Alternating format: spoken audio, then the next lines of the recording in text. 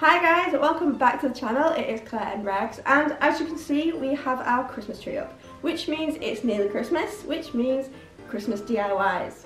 Me and Rags are going to be showing you how to make these utterly adorable cat stockings. There's one for Rags and one for Godiva. These stockings are really easy to make and super super fun. So if you want to learn how to make these cat stockings then just carry on watching.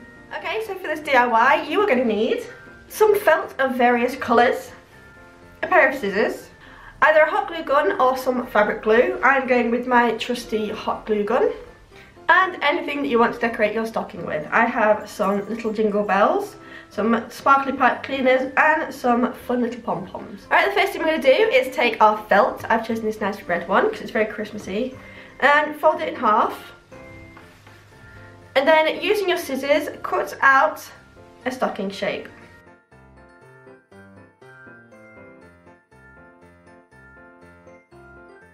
Alright, so now we have two pieces that are stocking shaped. The next thing we want to do is stick them together or sew them together, um, whatever you prefer. I'm going to go with my hot glue gun because I am terrible at sewing. I really should learn sometime soon. So in order to do this, separate the two pieces and just glue along the edges of one of the stockings.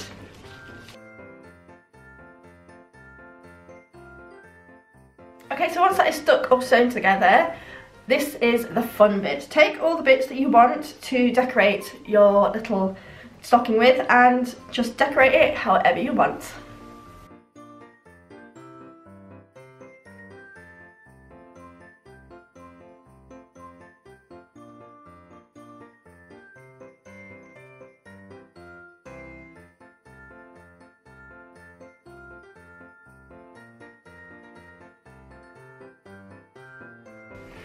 I'm going to take some of this sparkly pipe cleaner and make a little R out of it.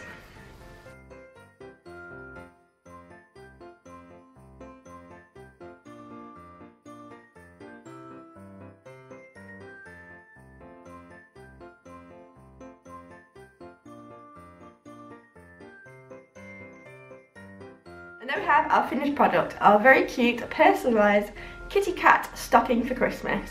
Now a good idea is to use some of the offcuts from the felt, make a little loop and attach it onto it so that you can hang it up. Rexy seems to really approve of it. Thank you Rexy. And of course I've made one for Godiva too. Now you can either hang these on your Christmas tree or on a mantelpiece, whatever you have, and you can put some little Christmas treats in there for your cat to open up on Christmas Day. What do you think Rexy? I hope you found that DIY fun and festive. Now I want to see the cat stockings you have made your fairy friends. Share them on our Twitter or our Instagram at, at RelaxMyCat. Rexy will pick her favourite and you could be in a chance to win a Relax My Cat t-shirt. So get making. If you did like the video, please hit that subscribe button and leave us a big thumbs up. And don't forget to turn on the notifications to keep up to date with this channel. Thanks again guys and Rags and I will see you in our next video. Bye!